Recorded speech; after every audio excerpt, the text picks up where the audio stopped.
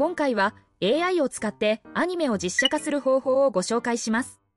まずはこちらの動画をご覧ください。こちらは AI を使って生成した動画です。TikTok や YouTube ショートで見たことがある人もいると思いますが、このような動画は知識があれば誰でも作ることができます。今回は初心者の方でも分かりやすいように、このような動画を作る流れをご紹介していきます。早速作り方を見ていきましょう。AI 動画を作るには、まずは画像を作る必要があります。画像を作れる AI ツールはたくさんありますが、ショートムービーのようなものを作りたい場合はミッドジャーニーがおすすめです。月額課金は必要になりますが、安いプランもあるので、まずはこちらから試してみてもいいと思います。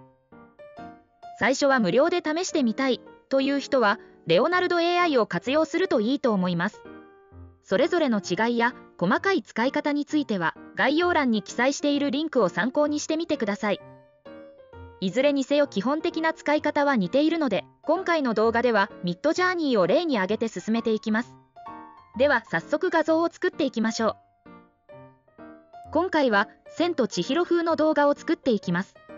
それでは試しにミッドジャーニーで千と千尋の英語名であるスピリティッドアウェイと入力して画像を生成してみましょう。するとこのような画像ができました。映画を見たことがある人ならわかると思いますが、千と千尋の特徴をつかんでいるように思えます。これはミッドジャーニーがジブリの画風や作品を学習していることが予測されます。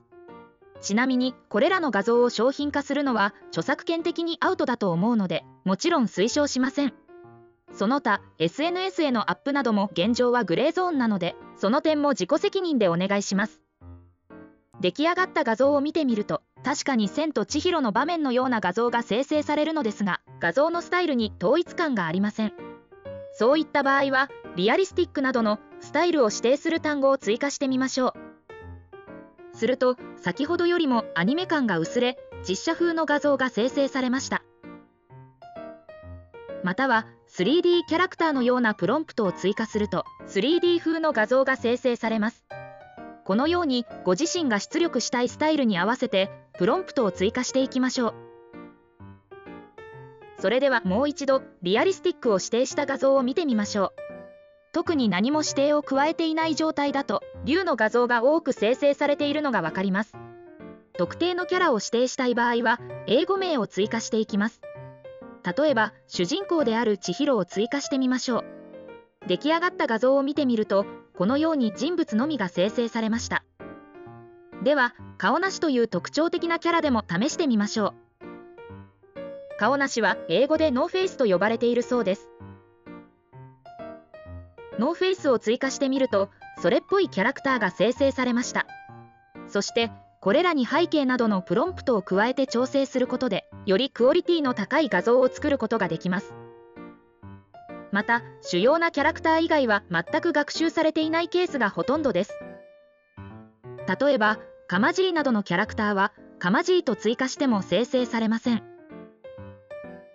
そういった場合は自力で画像を寄せていく必要があります。こちらに関しては説明が長くなってしまうので詳細については概要欄のリンクからご確認ください。さて画像がある程度できたらこれらの画像を動かしていきましょう。画像を動かすことができる動画生成 AI ツールもたくさんあるのですが現在無料で使えてクオリティが高いツールにハイパー AI というツールがあります。使い方は非常に簡単です。まずはトップページからアニメート UI イメージをクリックしましょう。すると画像をアップロードできるようになるのでこちらに画像をドロップします。画像が反映されたらあとはプロンプトを入力してクリエイトをクリックすれば動画生成がスタートします。こちらのプロンプトは空欄でもいいのですが詳細なプロンプトを入力した方が狙い通りの動画が作りやすくなります。ちなみに動画は複数あっても同時に作ることができるので一度にアップロードして待っている方が効率が良いです。数分待っていると早速動画が出来上がりました。こちらは何もプロンプトを指定しなかった動画ですがそれなりに動きをつけてくれています一方「海の波」とプロンプト指定した動画は、しっかりと海の波の動きを生成してくれています。このように、プロンプトをうまく活用することで、狙い通りの動画に近づけることができます。ここまでお伝えした流れで動画を複数生成することができたらあとは動画編集ソフトで編集を行うだけです編集といっても少し長さを調整するくらいなのでそこまで難しい作業ではありません。私は Adobe のプレミアプロという動画編集ソフトを使っていますが無料の動画編集ソフトでも問題ないと思います。または動画編集ソフトを用いなくてもインスタグラムや TikTok にはデフォルトで編集機能がついているのでそちらを活用するのも良いと思います。改めて動画を作る流れをまとめると画像生成 AI で画像を作って動画生成 AI で動画にして作った動画をつなげるという流れになります。